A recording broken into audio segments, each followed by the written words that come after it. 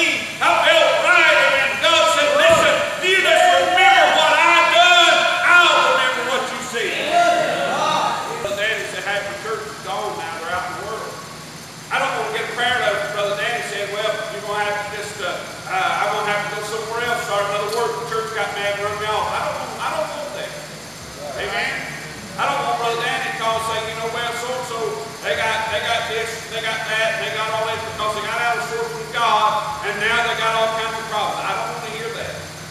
That's why I preach this. Amen. Amen. 1 Samuel chapter 13, verse number 8. This is Saul Samuel.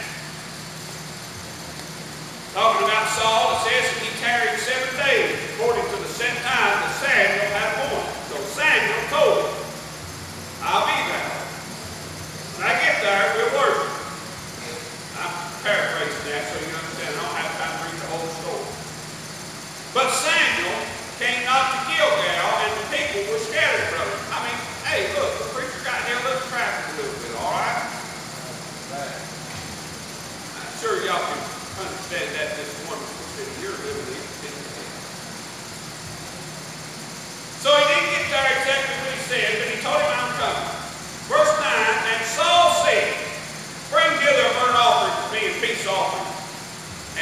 Speed.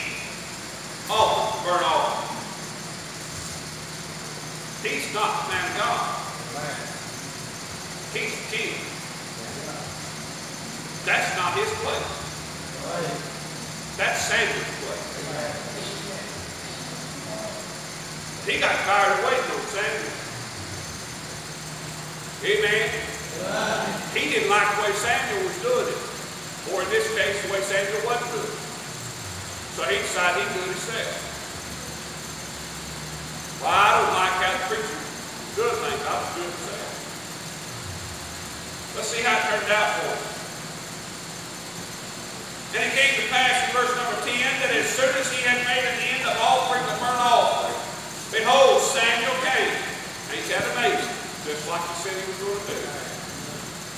And Saul went out to meet him that he might salute him, act like everything just fine. Oh, God bless you, preacher. You're so great. I knew, we could count on you. That's why we went ahead and worked for that.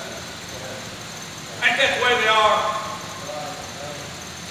I mean, almost every preacher that's been voted out of his church and run out of his church, on his way in that afternoon, they shook hands with him and, and just smiled and act like everything was the greatest. And all of a sudden, in the middle of the service, bam, they dropped the bomb. You gotta go, preacher. We're sick and tired of the word of God you're preaching. We're tired of doing it the way you want to do it, amen. But when they met him at the door, oh, hey, preacher, how you doing? So good to see you. That's what it is.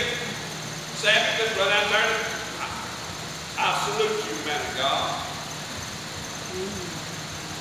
But when he did, see, God had already stirred Samuel's heart. Samuel said in verse number 11, What hast thou done? Saul said, Because I saw that the people were scattered from you know, preacher, if we do it the way God says to do it, people, they'll all scatter. We'll lose the people, preacher, if we stay to that King James Bible like that.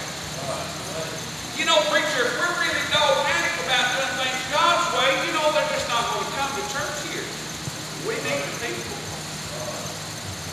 Saul said, Because I saw that the people were scattered from me, and that thou camest not within the days appointed, I mean, you know, well, maybe, maybe Samuel was spending a little more time with God. He said that he came not within the days appointed, and that the Philistines gathered them. I mean, you know, preacher, we got to do something about the world. Their world is attacking. We got to do something. We, we just can't continue doing it God's way. I mean, the world's making fun of us. The world's beating us over the head, preacher. We got to change. We got to do something. That's what he's saying. Therefore said I, verse 12, Amen. He said, uh, Saul said, because I saw that the people were scattered from me, that thou camest not within the days appointed, and that the Philistines gathered themselves together at Michmash. Therefore said I, the Philistines will come down now upon me to Gilgal, and I have not made supplication unto the Lord. I forced myself. Well, I bet you you really did. I bet it was real hard for Saul to do what he did. I forced myself. I mean, preacher, we, we love you. We really don't want to have to do it, but you got to go. Preacher, we love you.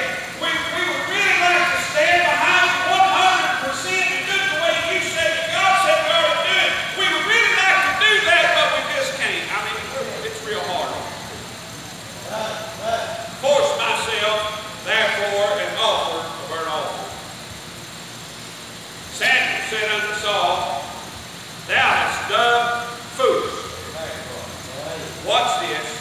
Thou hast not kept the commandment of the Lord thy God, which he commanded thee.